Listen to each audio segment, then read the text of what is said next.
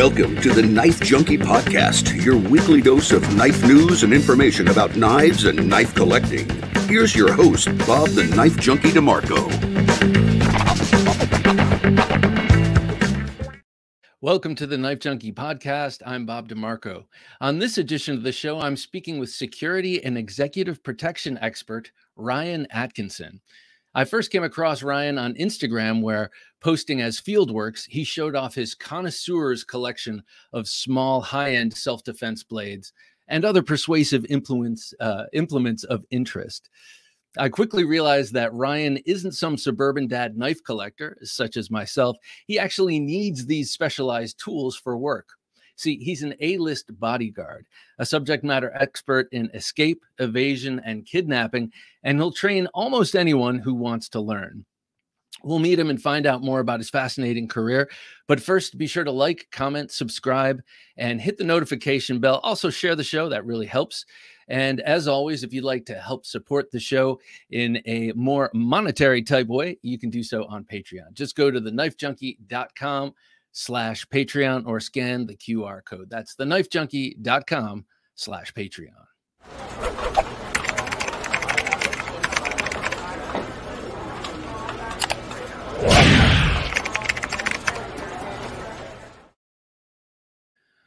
Ryan, welcome to the Knife Junkie podcast. It's great to have you here, sir. Hello. Thanks for having me. I appreciate it. Sorry, I'm looking at my screen at all the things. I'm trying to figure out what I'm supposed to look at. I'll look at my How are we? I'm doing well. Thank you. Oh, well, I'm I'm glad glad to have you here. And like I said up front, like I I first got wind of you from your amazing knife collection. I was going down the Pikal rabbit hole, and a lot of your knives uh, have those qualities, and I was definitely searching for that. But uh, then I kind of got hip to a little bit more of you and what you do. And uh, it is more than fascinating. And I had a guest on recently, Tomas Alas of the Tactical Tavern, oh. and uh, he mentioned you in taking your class. And I said, I got to talk to you. So, um, well, let's start with uh, what you do. Where did you just come back from? What's your day to day?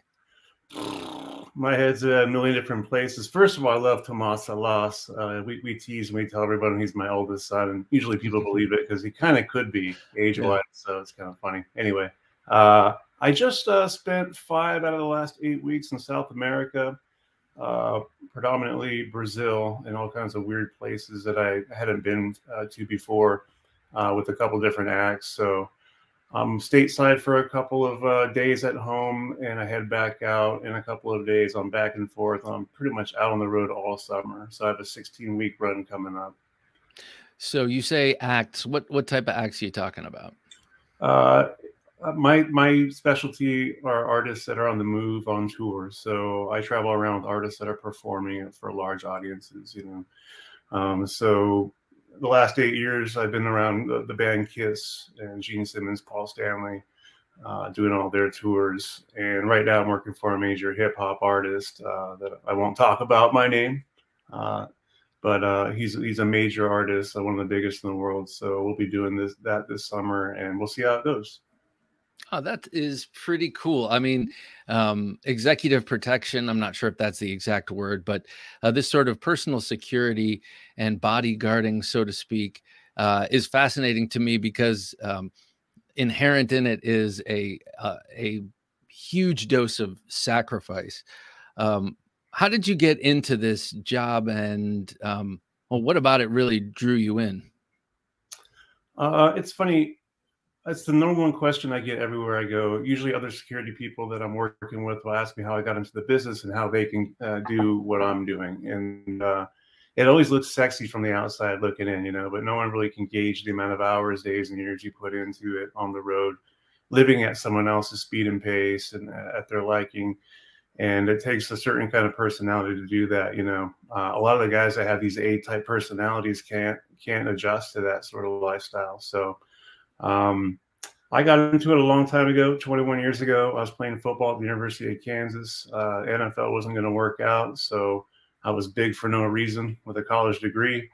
And a guy out of Kansas City found me. Uh, he was looking after a lot of the touring acts in the world, and he said that he heard I could ho- uh, hold my own physically. You know, I've always been a big physical guy. and that I had a college degree, and if I could use my brain more than my muscle, that I'd have a job.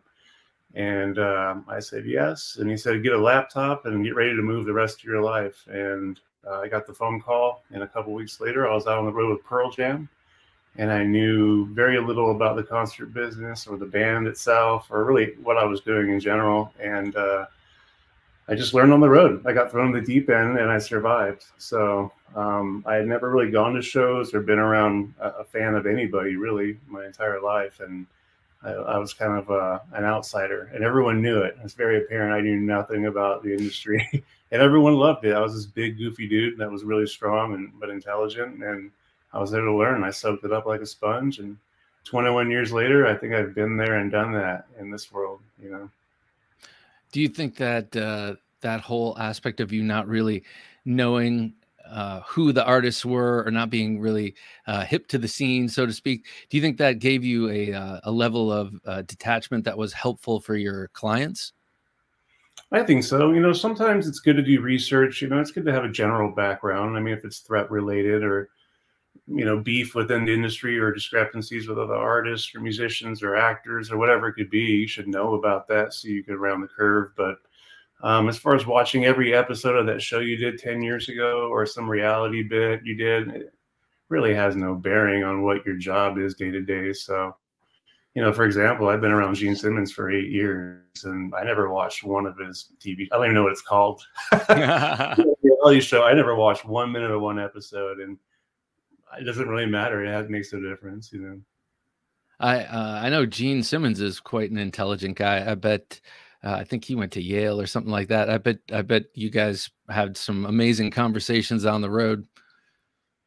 Yeah, it's uh, uh Gene's an interesting guy, you know. I'll put it like I'll put it like yeah. interesting guy. You know, we we the conversations are very much like dudes have behind the scenes. It's not it's not very intellectual between us, you know. keep it pretty simple.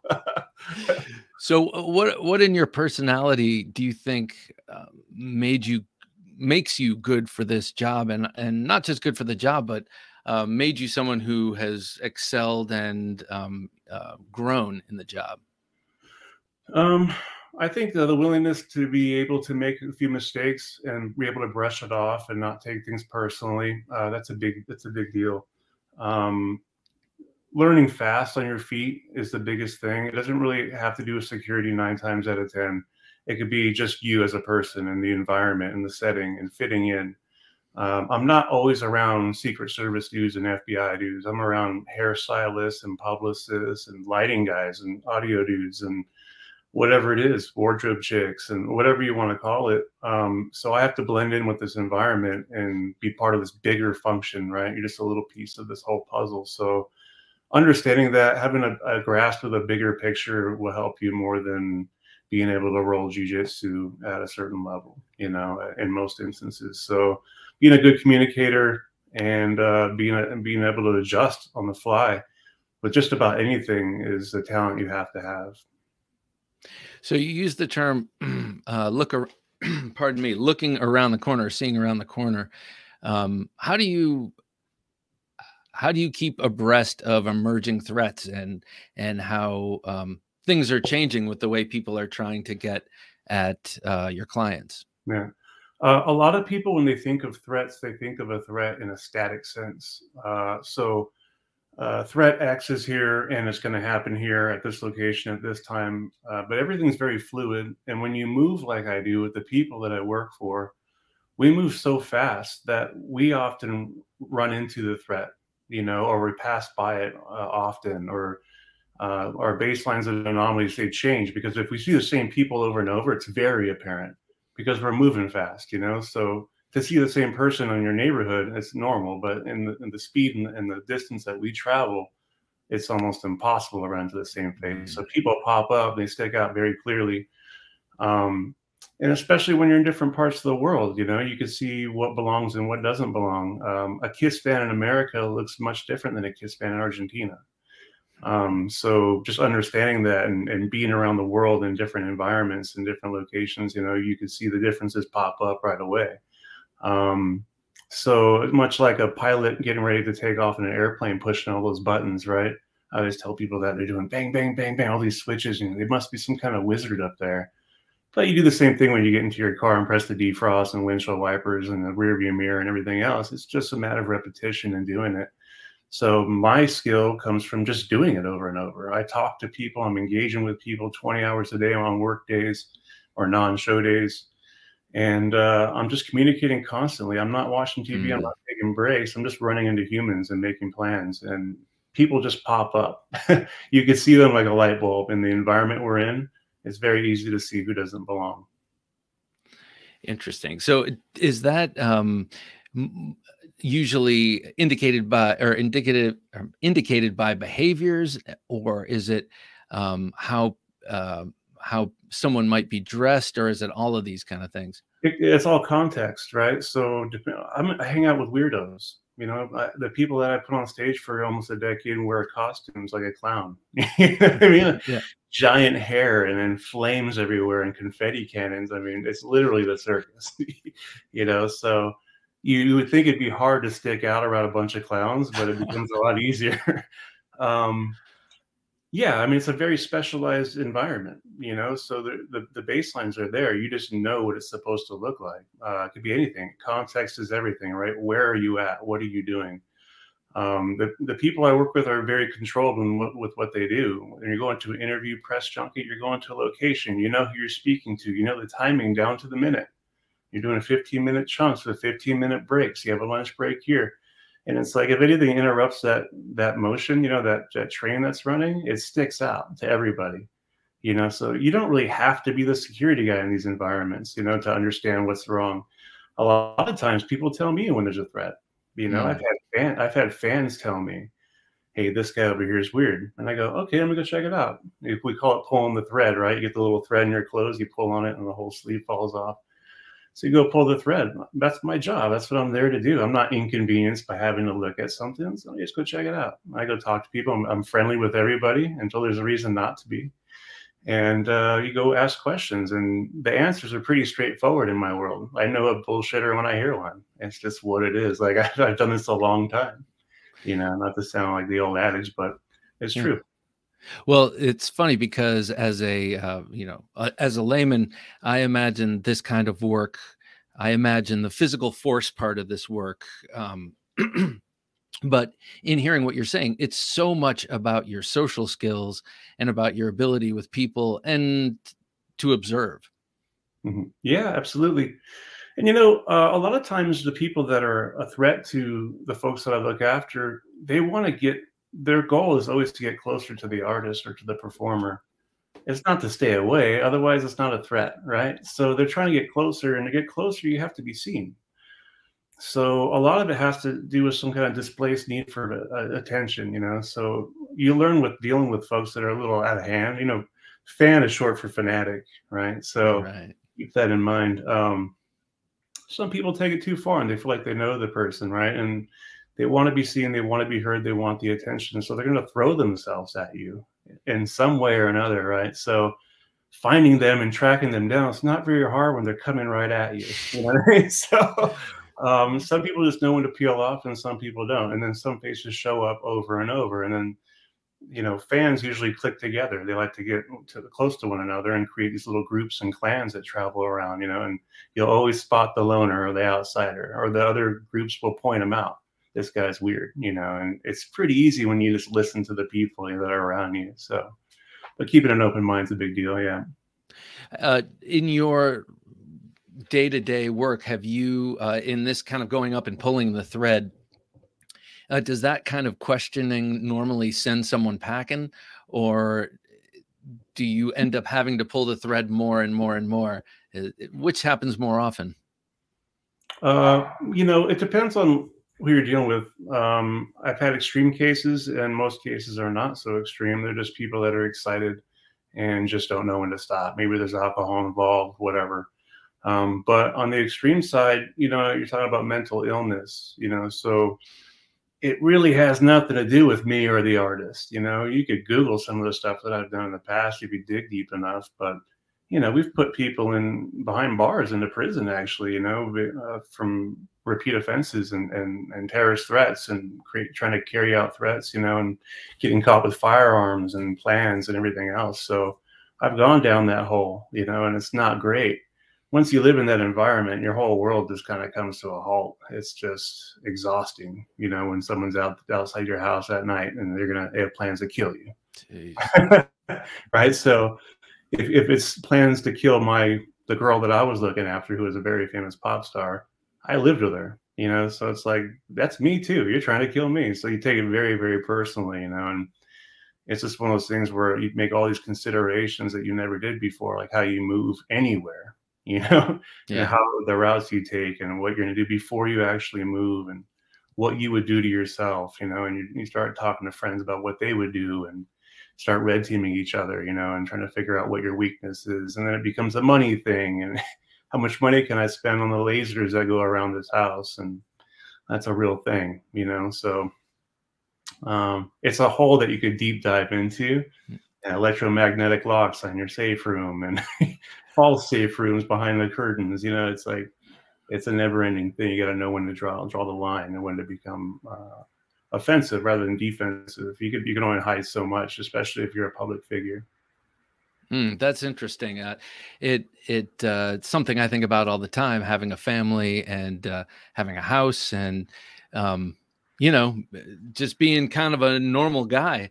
You know, I still have people to protect and a house to protect. Um, and there is that question where to draw the line in terms of, you know, we could spend every paycheck on security and uh, end up with Fort Knox. Um, mm-hmm. But you know how much how much is that going to help? I think a lot of it has to do with mindset and training.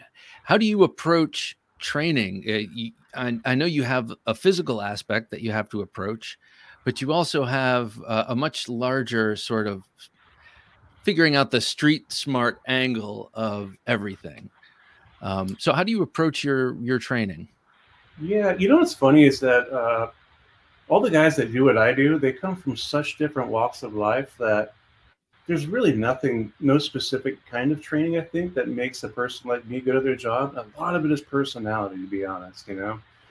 And then jumping into different parts of training will just make that, will accentuate that, right? So if you're a physical guy and you're in good shape, of course, that's good for the security guy. If you're a conversationalist, you can carry on with any any crowd in any form or situation, then that's great too.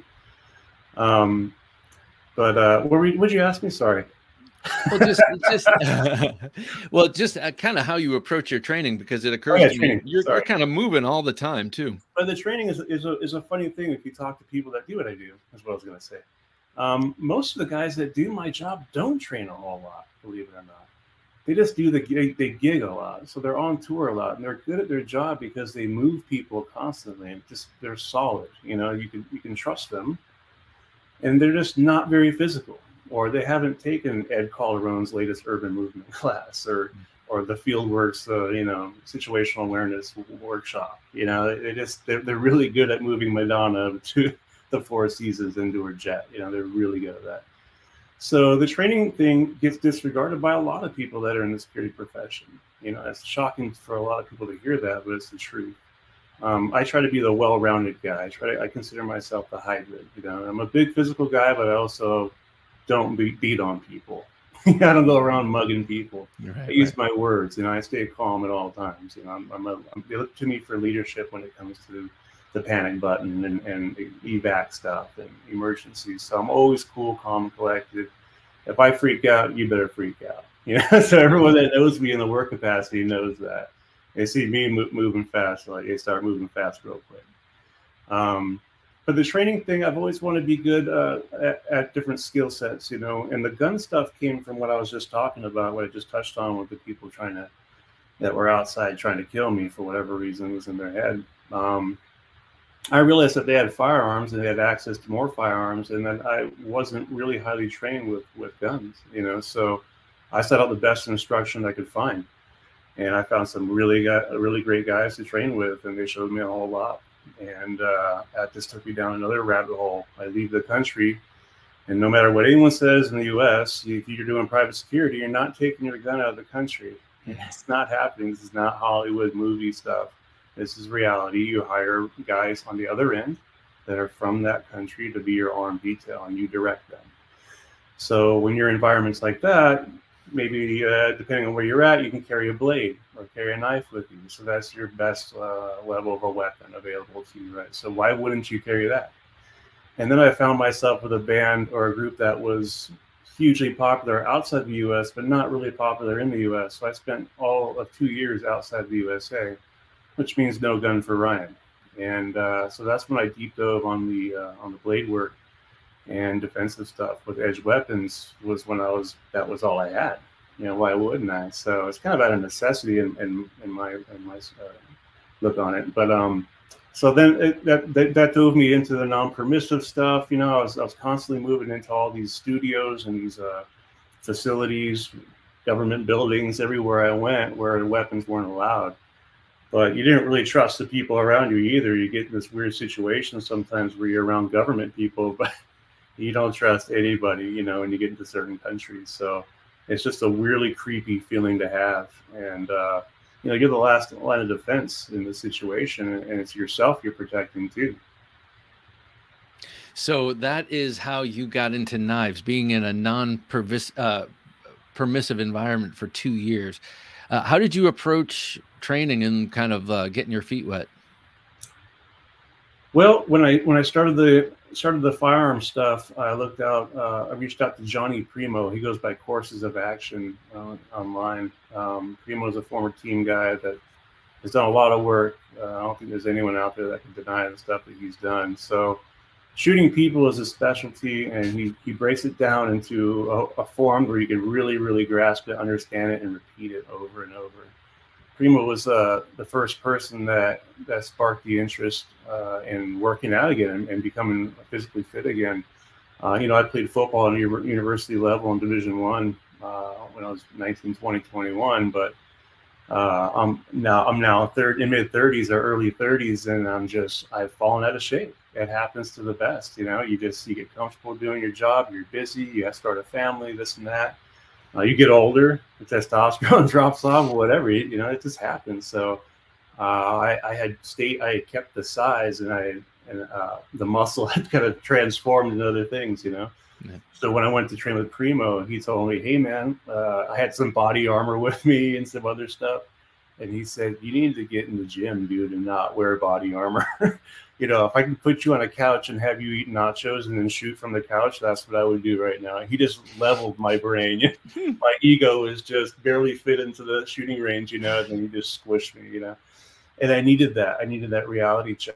You know, it's like your physicality is going to carry you through more shit than the shooting skill that I'm about to teach you. So uh, I got on it. This is years ago, so it's been a journey. You know, five years later, I just turned into some cardio monster uh, throughout the path. But along the way, I sought out different instructors. I like to learn from everyone I can. Um, I show up, and anyone who's been my instructor in the past will tell you that I show up. I do the full thing. I want to be a student. I'm not looking for anything other than to take notes and to get tortured or whatever you want me to do, to get gassed out or smoked, whatever you can do. I want to do it. I want to do it first you know. So I don't want to see other people fail and stuff. I want to go out there and mess up in front of everybody, you know. So yeah, um, I just sought out the best instructors out there, like Bill Rapier, uh, Amtac oh. Shooting, uh, former uh, SEAL Team Six team leader, um, just one of the most solid Americans you'll ever meet. I mean, the guy is just a monster. Yeah, and, uh, he just he changed the way my my thinking uh, my thinking is as well. And I fell into Ed Calderon with the blade stuff, you know, and um, and then I learned a lot more about Ed and that and, and what he's into and that the image online really doesn't describe him, you know. So people that have hung around Ed Calderon for a long period of time can tell you a lot about Ed that has nothing to do with Instagram or place. Uh, the guy is a fascinating man. He's a fascinating storyteller, and he's lived a crazy life. So uh, he shot, he shot, he put a light in my direction that I'd never seen before, which was awkward for me because I thought I had seen everything. You know, I had this weird issue with uh, ego and everything else that everyone I think works on to some degree, but I'm still working on. Uh, but he helped me uh, wrangle that in a little bit and kind of understand different things about deconstructing environments and, and uh, creating uh, baselines versus anomalies and, and understanding context and stuff. And, and uh, it's stuff that I already knew but you put it into a formula. It's like giving you four balls, tennis balls. You understand that you have four balls, but if I teach you two plus two, you can put that together faster, right? So it's called shortening the chain. You, you create the shortcuts for all these things that you already know, and it helps you think faster and deconstruct faster. So I thought the whole thing was fascinating with Ed, you know. So I, I, I deep dove with Ed for a couple years during COVID, and we did all kinds of stuff around the country. And uh, I became, I started instructing myself.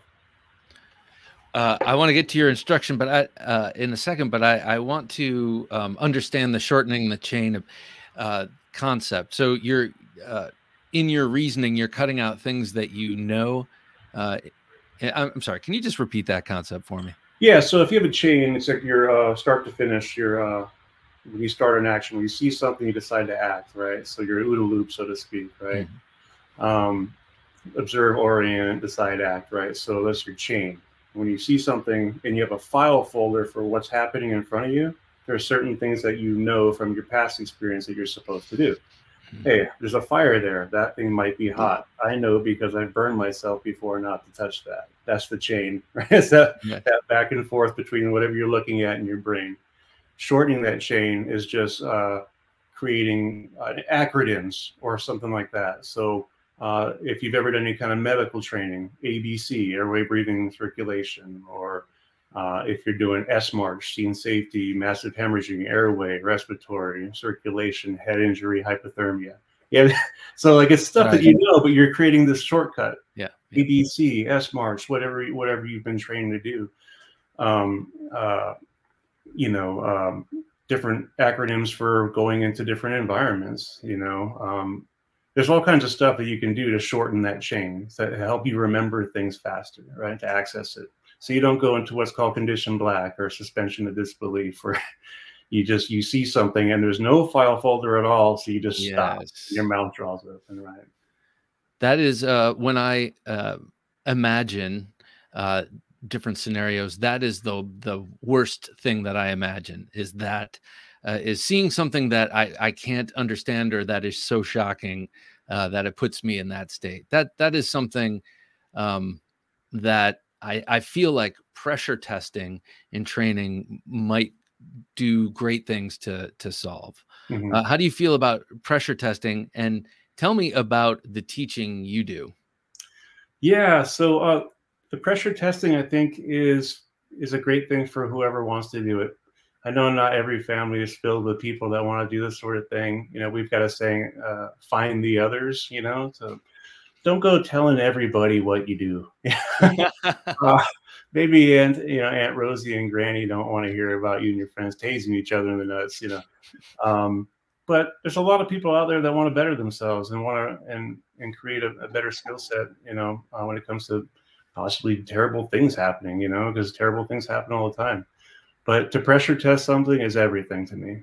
Um, everything else is just theory. It's just people talking on the internet. So we say come out to a class and show me and if you show me something i didn't know i'll say hey you get credit we're all just standing on the shoulders of other people we're yeah. i didn't invent some anything i will never claim to have invented invented anything and neither will anyone that's around me so we're we're all in a, a learning circle we're here to learn share stories and experiences and help other people create folders that maybe weren't there before you know when I teach classes, I, I say if you leave this class 1% better, if you learned one thing, then to me, that's success, man. Because if you were to go outside and get into an, an altercation, a, a, fight with somebody, and you could reverse time and say, hey, you can be 1% better, you want to do it? You're like, yes. Mm-hmm. Every time you'll take that 1%. So um, there are no uh, silver bullets in this kind of work. You know, there's no one shot, one kill. It's constantly doing it. It's drilling. It's learning from different people and just rounding the edges out. You know, do you have to just learn from more people? Um, I don't. I'm not a fan of getting stuck in one circle. You know, I train with everybody. So anyway, I live in Boise, Idaho. I don't think there's anyone in town here I haven't shot with. no, and you know, I'm not the best shot. You know, I, I never claim to be. I don't show. I'm not a trick shooter or an Instagram shooter and that stuff. I shoot well. I know what I'm doing, but I'm proficient. But I still have work to do. It's a perishable skill, and I understand that. And I think that everything is, you know, that memory fades over time when other things fill your mind, you know, whatever it is, COVID or politics or other crap that fills our skull these days. You have to constantly put that in. And uh, pressure testing tells you the truth. You know, it tells you uh, that people are different. Um, a lot of the stuff with weaponry, uh, it doesn't work for everyone, you know. So we grab things and we try to teach everyone it's the Indian, not the arrow. So don't get too physically attached or emotionally attached to these items if you don't yeah. have to. They're just it's just stuff. Yeah. You know, you are the weapon. You know, so picking something up, weaponology classes that we do, and making weapons out of things quickly, and identifying weights of things and the structure and the wood grain and how to sharpen plastic on carpet and you know use kevlar string to make you know to cut someone's head off if you had to. Um, it's just all these weird little skills that kind of put these little pieces together this giant rubik's cube that's your mind you know you can start figuring things out. And then you get in these classes around a bunch of other weirdos that are that are brainstorming the same crap as you and it just turns into this beautiful mess you know and it's just the things that come out of it are brilliant. Uh, please allow me uh, bef- before I get more details out of you because Tomas Alas uh, had some really cool details from the class, and I want to get a little more specific. But before we do, I just want to show you uh, my family just went to Jamaica uh, for a wedding. Okay. And uh, so I have my little ventilator pen because they're very strict about no knives there. Yeah.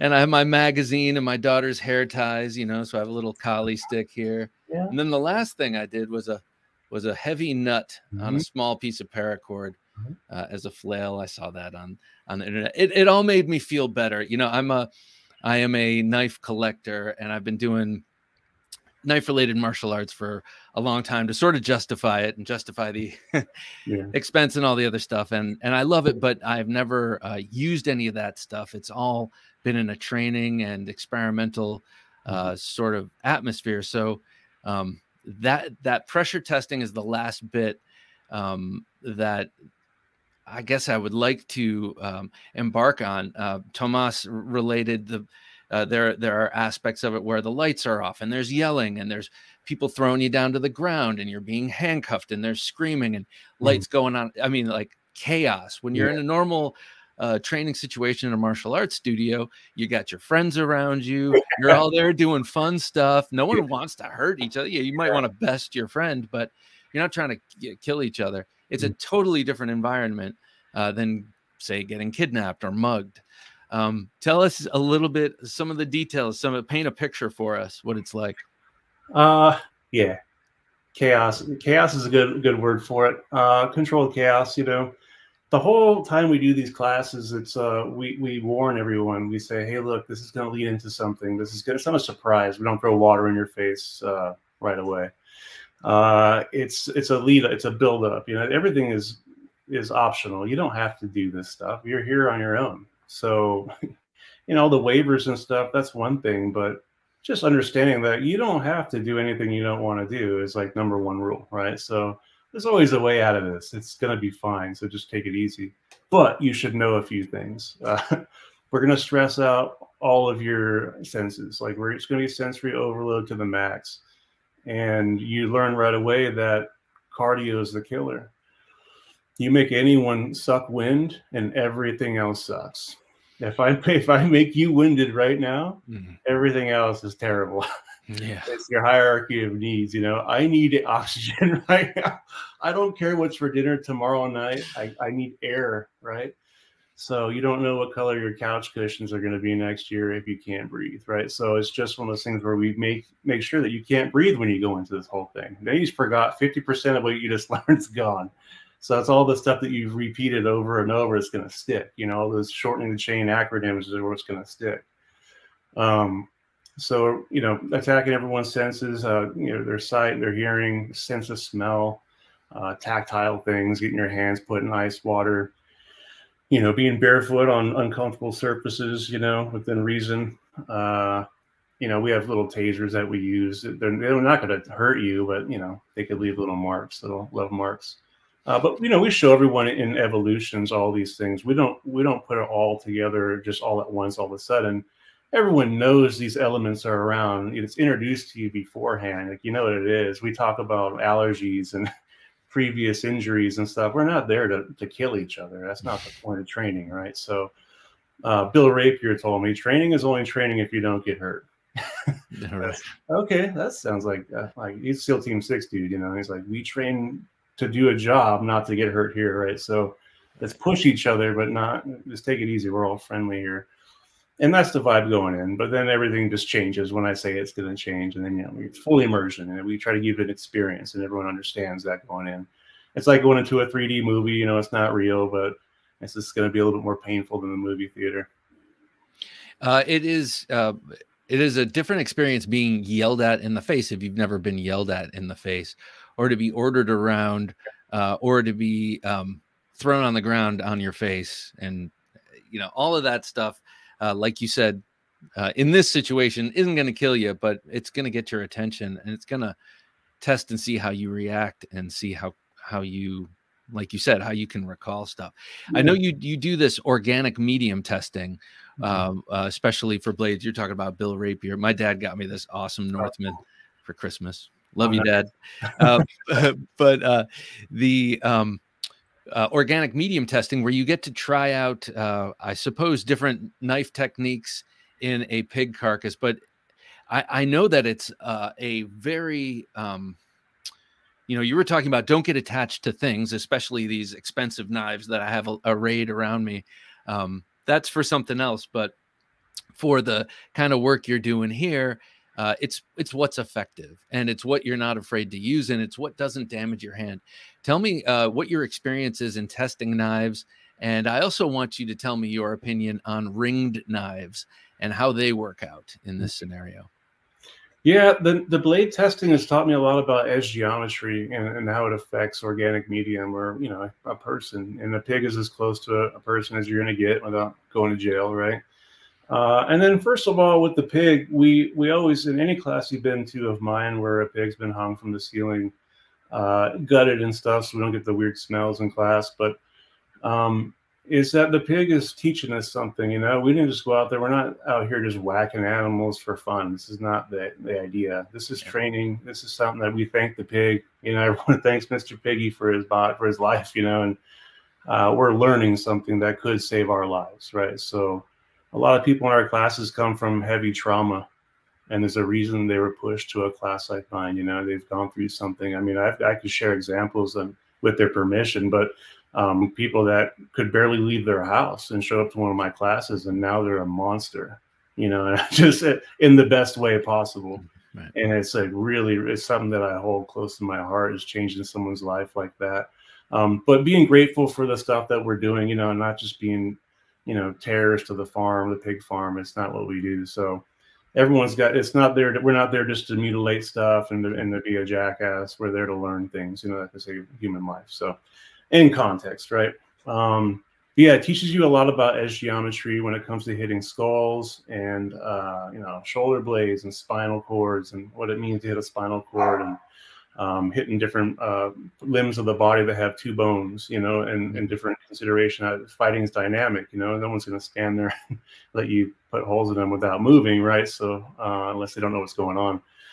Um, so we show what it does to the blade uh, deformation, you know, like what, what it does to thinly tipped blades, you know, and, and why that could be good or bad. And, you know, show people that even if you break half of your blade off, you could probably keep stabbing that person with that blade. so breaking the tip off really doesn't mean a whole lot when it comes to stabbing somebody, very little actually, unless there's heavy clothing involved or some kind of jean jacket or Kevlar in there um, where you need extra penetration. But um, you know, and stabbing through clothing and what that means to your blade design. You know, what what are snag points on your blade? Um, these are lessons written in blood. You know, so there's people that tried things with blades they shouldn't have. You know, and generally, ring blades are frowned upon in the reverse edge community uh, or the, the, tactical fighting community because of uh, uh, the, the possibility of degloving your your finger or uh, sleeving your finger, you know, or taking the meat off of the bone around your finger. A lot of the ring blades are made incorrectly if you want a ring blade. Uh, the ring the ring should be smooth, and you shouldn't be able to skin a carrot with it. If you can skin a carrot with your karambit, you should probably chamfer those edges a little bit more because that's what's going to get bound up when you in a dynamic situation. You're moving your blade stuck in the spinal cord, and now that person's doing a roll on you with your finger in there. Mm your yeah. finger is not that strong as the two grown human men wrestling around. It'll come right off, right? So Uh, we do sometimes we explore hand passes, you know, or we change the blades to different ha- hands, and there's a lot of examples of, of, that. And with recent instructors doing it, a lot of jiu-jitsu guys are jumping in, and the hand pass is huge. I mean, it, it gets used constantly with skilled guys. So um, that's another consideration. So you don't want to be attached to your weapon, you know. Mm. I guess uh, I guess the ring on a gun would be the trigger guard. I'm not sure. Yeah. That's right. That's the only one you want your finger through. Yeah, it seems uh, uh, I have recently gotten, um, I, I, did recently get a ringed knife that I really love that aligns my knuckles and everything really well. It's a Tikel Night Stalker, but it's been a long time since I've had a, a ringed anything. Uh, when I had Ed Calderon on this show, uh, that was one of the main takeaways uh, um, from his experience that it can be very dangerous to the user and uh, and and a lot of that comes out when when you're doing the testing that dynamic testing on a carcass that's swinging around um, again it's not a colleague class where your friend is going to stand there and allow you to uh, make sure you know to te- it's not that. It's it's holding onto your blade and swinging around and your hand is attached. So it should yeah it should be said you know when a pig carcass a 400 pound pig is, is uh, swaying back and forth you're not have it you know have people holding it for you and you you start hitting it with the karambit you start to see what it really is you know especially if you put clothes on that pig you start, your damage level goes way down. It's kind of terrible right? So you want penetration you know you want that ripping effect is why the Pikal we use that reverse Pikal. We use all of our back muscles in it, right? Um, but with the, the Ed Calderon stuff, it's funny because when Ed first popped up and he first became this Mexican uh, taco ninja on Instagram, I sh- I shit on the guy. Like I was like, what Mexican cop is going to tell me what? You know, and I had worked professionally with Mexican police my entire adult life, and I have a very low view of most. Mm-hmm. You know, I've, I've never been shy about that. I've been messed with in Mexico so many times. I've got great friends there too. Don't get me wrong, but there's a lot of shitheads there. So when I heard there was this Mexican cop talking about any kind of weaponry or training, I was like, "You got to be kidding me!" I just went right after him, right after him. And I, I, remember making fun of the the hand slapping. All the hand slapping he was doing was to his his uh, his weapon holding hand, you know. And um, it's not until you do things a lot that you realize why that's there, you know. So if you see somebody doing something, especially in the circles that I try to hang out in, there's a reason for that. It's not just it's not knife karate. We joke and we call it knife karate. You know, it's just like a it's like a, a me. We call each other roadies when I'm at I'm at work. We're not roadies, but right, right, right. Hey, roadie, you know. Uh, but yeah, knife karate. We're doing some knife karate in the garage. You know, it's like we just dumb it down like that. But uh, there's a reason for that. That blade gets stuck a lot in a body you know and it sounds weird that your hand won't pull off but if you do that with your other hand somehow it comes right out of someone's skull. I don't know what the wizardry is there but i've done it a million times and i can tell you it's true. Wow. Yeah and it's not uh it's not the flowy beautiful kind of dueling that you might want to that you might want to hope it looks like. Yeah. Um that's that's the other thing that took me a long time to realize uh, is that uh, you know no one's getting in knife duels. That's not happening, and mm-hmm. uh, you know, um, and I love. I, I think for self perfection purposes and for fun and for exercise, all of that is so good and so great. Uh, but I also think you know. Uh, in all sorts of training, especially in knife training, you know, you have to have a real self-preservation outlook too. You know, yeah, when I played football, I took yoga and ballet, but whatever. Right. Yes. Right. Um, but the Libre stuff and that reverse edge stuff, it all comes from Scott Babb. And, and I don't know if you know the Scott Babb story. Yep. Uh, I don't. Uh, Scott, you know how he got got hooked up with Ed Calderon. He was Ed's instructor for blade work. Um, Ed became a sub commander for a unit in Mexico, and he hired uh, Scott Babb to come down because these guys were carrying Rambo knives and you name it. There's a lot of KA-BARs around the streets of Tijuana, right? and uh, Scott came down and, and taught him his, his method. And the method was created from real life stabbing data. So people that had been in incidents involving blades, and there's video evidence of it. He dissected all of it, everything he can get his hands on by region, by date, what the customs, cultural stuff. He just kind of broke down the whole thing into a martial arts system and a science, you know. And uh, Ed was so interested in it that he brought him down, and, and Scott taught Ed's guys this Libre fighting system. You know, they were like the first ones to go out and pressure test things. So things got physical. and uh, let's just say that Tijuana is not anywhere in America. It's not like it is here, especially when it comes to cartel cops and their and their adversaries. You know, so uh, my understanding is that the system was pressure tested in the streets of Tijuana. So uh, it's not uh, a matter of this might work or this is what might happen. This is what happened. yeah. So what happens when you do this? You know, so it's very a matter of fact, and it was actually employed. Yeah. Uh, well, that's a, you know, that's cool to know. Uh, you know, bittersweet, I guess, but it's good to know that uh, these things work, and especially that because uh, because I have put a lot of time and thought into uh, that kind of fighting, that Pikal style of uh, fighting, and I can't say I've taken Libre, but I've kind of incorporated in with the kind of stuff I know, and uh, I.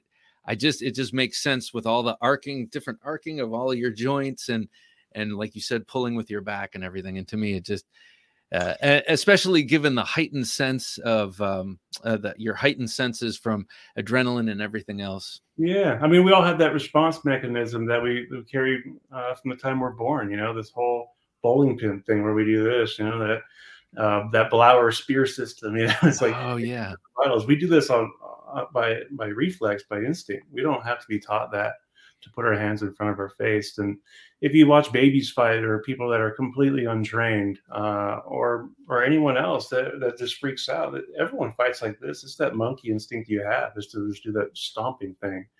When UFC fighters get that final blow, they come down with the hammer fist. Yeah. you know, always what? a hammer fist. That's the nail in the coffin. That's going to kill you. You know, it's like the foot stomp. So that's what we're going for is that I'm going to, you know, I'm trying to end you. This is not some kind of delicate thing happening. Right. This is going to be a brutal altercation that I need to finish now.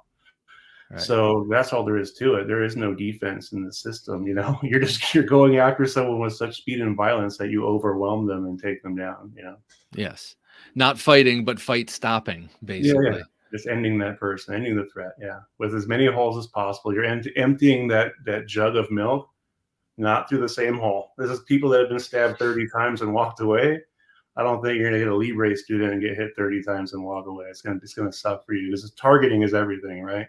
You don't have that ballistic advantage of a bullet, right, or some something coming out of a firearm. It's just that hole or that slit going in. There's a little bit of compression there, but you're not talking about ballistics like from a, a nine or a 40 or 45, right? right?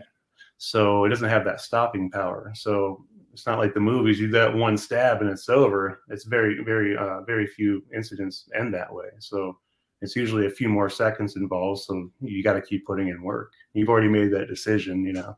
Right, right, and oof, yeah, and uh, you know we know from prisons and from untrained uh, mm-hmm. killers with kitchen knives. That's usually how it works. Mm-hmm. Um, uh, before I want to, I want to get some tips from you for um, just kind of regular people uh, for travel and for home. But before we do, let me let me ask you in in your training, um, besides your incredible knives, the the knives you have in your collection, I keep talking about. Um, what have you found works best in a in a pig carcass? Is is it the Victorinox fruit knife? Is it the um, Pioneer Woman paring knife? Like, what is your what have you found? That's uh, what's the blade? Oh gosh, it's a Swedish blade. What's it called? It's in every store. Oh, the most uh, common blade ever. Oh my god, it's one in my garage. Uh, anyway, the... he uh, Ed calls it the AK-47 of uh, knives. You know, it's like this one's got more bodies on it than any of your fancy Instagram shit. Are you talking about the Mora? Mora, Mora yeah. He's like the Mora the and then that one, that's the blade. And I, I, take one to every one of my classes too. And I, I say the same joke. Here's the AK 47, the one you haven't seen on my Instagram yet. Um, I think I used to post pictures of it and the fruit knife. Um, it's I've never broken one. So I mean I've broken all the one all the cool guy stuff that you could buy uh, you know from whatever website your favorite knife maker sells on. But um, eventually they break down. It's a tool. It's a it's a at some point your knife gets pointy and thin, and that part's going to get degraded, right? So uh, if you hit it with enough things and enough force, it's going to deform. Um, but the more a knife doesn't, for whatever reason, it's twelve ninety nine down at the Bass Pro Shop. Um, so we we joke about that, but as far as geometry, uh, when you start making these large processing cuts on a carcass, you'll notice that that bead, that bird's beak curvature works best, or something that is matches uh, you know human anatomy. If you're going to put your forearm out and it kind of rounds your forearm like that, mm-hmm. uh, that's usually what does best. Um, we always raise the tip. So if your if your if your palm's here and your thumb cap's here, you want to put your thumb on top. Uh, that tip is raised up slightly above your uh, your knuckles for point of aim, point of impact.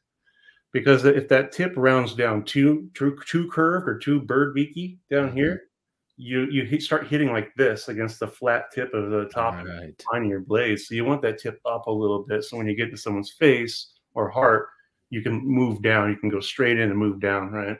Yeah. Um, but that curved blade uh, does the best over rib cages and spinal cords and all kinds of weird ligaments and stuff. That curvature in the blade, for whatever reason, uh, I'm not a physicist or anything, but um, it, it, works better, and you get longer, deeper cuts on a carcass. Nice. Well, okay, good. So I've spent a lot of money on those knives. hopefully, uh, hopefully, I have one on me when I run into a pig carcass. um, so uh, like I mentioned before, going to um, Jamaica with my family. I've got two beautiful young daughters, and uh, on the way, you know, I had to I had to uh, have a uh, emergency contact. I contact my brother, who's a very world savvy guy. He gets right back to me and says, "Reconsider your travel to Jamaica." And he he sent me the uh, the the State Department's warning. And um, you know, while we were there, I was aware that even though we were on one of these all exclusive resorts for this wedding, the walls are easily scalable. It's easy yeah. to just walk on the beach and get in. Um, and also travel in the airports and uh, and and that kind of thing. What what kind of tips do you have for uh, people who whose uh, livelihood is not wrapped up in this kind of thing, but still has a lot to protect? Well, it's funny is when I when I talk from my soapbox, you got to remember that when I travel with artists, specifically with the A group or with the artists themselves, and I'm not on an advanced team or a production team, uh, we don't just roll into countries and you know and get off the ship or whatever or get off the plane and walk into a taxi. That never happens that way. So we make great plans that are big plans to travel around with police escorts and armored vehicles etc and uh, you know uh, we're insulated so to speak. We have armed guys at our hotels and they, they, don't, they don't we don't go anywhere by ourselves etc so mm-hmm. it's a little bit different for us. Um, so uh, one second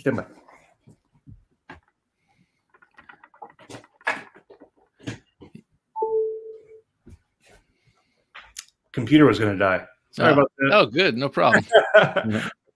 um, so it's a little bit different. Uh, but I've been on production teams and, and uh, different uh, film crews and whatnot that go ahead of talent, you know, and that, and you're on your own as well.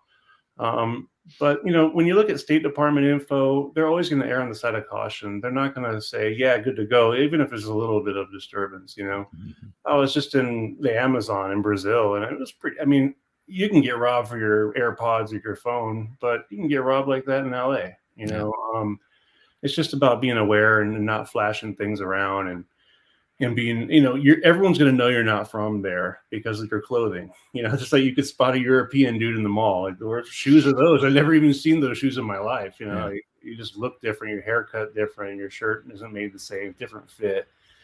Um, you have different haircut or something. You know, so your clothes are going to tell on you right away. That's the first thing that people spot. And even if you think you're wearing plain clothes, you're not. You're wearing. You look like an American, dude. You know, so uh, you have to know that about yourself. Um, but also, uh, you know, don't become an easy target. You know, if you're just paying attention, you're not being flashy, and you're moving with a purpose. Nine times out of ten, that'll save you. You know, uh, a lot of the people that get rolled are just aloof or not and not paying attention. Uh, I was just in uh, Sao Paulo, Brazil, about a month ago uh, for Lollapalooza, and there were a bunch of Americans. There was like I don't know, 400 Americans staying in one hotel or something, and yeah. and just the the people, the bad guys came out of nowhere on motorcycles, and they were just lurk, lurking around the hotel and people ended up getting robbed people with famous crews, you know, for their cameras. They're walking around taking pictures with giant Canon cameras around their neck and it's just being stupid. So they just didn't know it was their first time. So they learned the hard way, you know. Um, but just just being smart and just paying attention, and uh, most of these countries are good to go. You know, uh, if, if, you just if you have local contact, that's the best thing to do is have a local friend to show you around. You know. What about in general? Um, uh, you have a gut feeling. Say you're out, uh, you know, you're out with your wife for the evening, or you're with your kids at the movies or something. You have a gut feeling. Um, yeah, have you ever had some sort of gut feeling that you followed and you were glad you did? Yeah, you'll you'll understand the more you you talk about gut feelings is that that's you're accessing folders in your brain that you've already seen. Whether it was in a movie, whether it was a story that someone told you when you were six years old, there's something in there that's that's making your hair crawl, and it's not just because you know you stayed at a Motel Six. It's because you've seen this before. You're like, yeah. I've seen this movie before, and it makes and you start uh, you know pulling it apart a little bit. You start deconstructing what's happening. You start looking around for other actors or other anomalies in the environment. Like what else? Did the temperature drop? Did the lighting go up? Um, are people moving in one direction? Like whatever it is, you know. Uh, but then you start to finish the story, don't you? That's what we're all guilty of. You start going, well, this guy's probably homeless. Well, this guy's probably knocking on my door because he wants to sell me something. You have no idea, and it's not your responsibility to finish someone else's story. That's what I always tell people. That's not your job. you know, uh, I always tell my kids, you know, they oh, everyone does it. I do it too, and then I laugh about it immediately because I catch myself every time. Uh, when you see somebody, oh, that guy must be he must be renting the house. why do we do this? You know. So, are you saying don't do that because you might be judging someone unnecessarily? Or are you saying don't do that because if you write the end of the story, you might be blindsided by what the story actually is? Nine times out of 10, we write it off as probably just something. That's what we want to do because we want to finish the story. And if we can't oh, finish the story, it'll just bug us, right? right? So it's okay to move off your uh, out of your environment. You know, if something doesn't feel right, we should go. I do it all the time. I mean, I'm the worst, and it's inconvenient for some people yeah. in my life because I'm not staying here, dude. You know, and then it becomes like, oh, Ryan's doing his thing again. You know, he's just okay. but now of his feelings again. Yeah, but you know, most of the time, the people that actually know me really well go, all right, I'm out of here too. Because if you're not comfortable, then I'm not comfortable. So I'm not the kind of person that's easy to scare. So when I say that, people just get up with me. they don't. If you if you really know me, you're gonna stand up to. Even the hardest customers are like, yeah, I'm rolling out. Yeah. So, um, and that's a that's a hard skill to learn with with clients, you know, because you're dealing with egos, aren't you? So it's like, well, you work for me, right? And I, I want to be here, and I have to do this, and this is what I'm supposed to be doing. And you're like, well, you know, now you have me around to show you that to stick around longer and do what you're doing, you should probably start taking cues from some people that are, are paying attention to your best interests. You know. All right. Before we close, um, do you have a story, a good, a good uh, time that you foiled something, or where your sixth sense, uh, your gut told you something, and you saved the day? There's a lot of that. Uh, man, there's a lot of that. Anything weird or unusual? Yeah, uh, one of my favorites is the the I was uh, actually doing I was working for a pop star, and a lot of people don't know, but I was a security person turned assistant turned manager. So hmm. the big pop star female I was with for eight years, that I, my my role shifted into this you know management position. So at that point, I was hiring assistants and security people. So I've kind of seen different parts of the spectrum that most security guys have never really gone into the management world, you know. So, yeah. and then I came back, so I have this different vibe. Um, but I was working for this pop star, and I was I was out of LA for the better part of a decade, you know, working from Beverly Hills and doing my thing. Um, and I had a friend that was still on the move with another a female artist uh, that he had tried to get me to work with on, on a project, uh, a band that had popped up really big, and they're still pretty big. Uh, but the female artist got a lot of attention from weirdos. You know, there's all kinds of people are sending weird emails and mail to the fan club and all this other stuff. And um, like I said before, a fan had put it out to some weird person online uh, in a in a group name uh, chat room or whatever.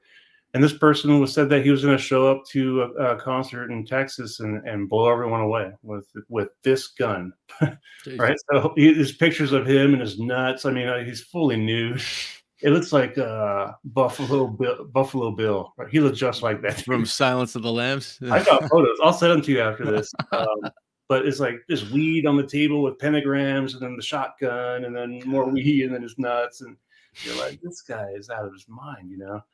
And uh, my the, my friend was moving with this female artist, and he couldn't deal with the secure uh, the police in this guy's neighborhood. He didn't even know where he was at. He was just on Facebook, and and all the fans were trying to figure it out. And sometimes fan groups can this buzz can grow so big in the fan space that it becomes news before it's news to you. Hmm. So it doesn't necessarily have to be 100% true or legitimate. If everyone's talking about it, that's what it is. that's what's on your plate right now.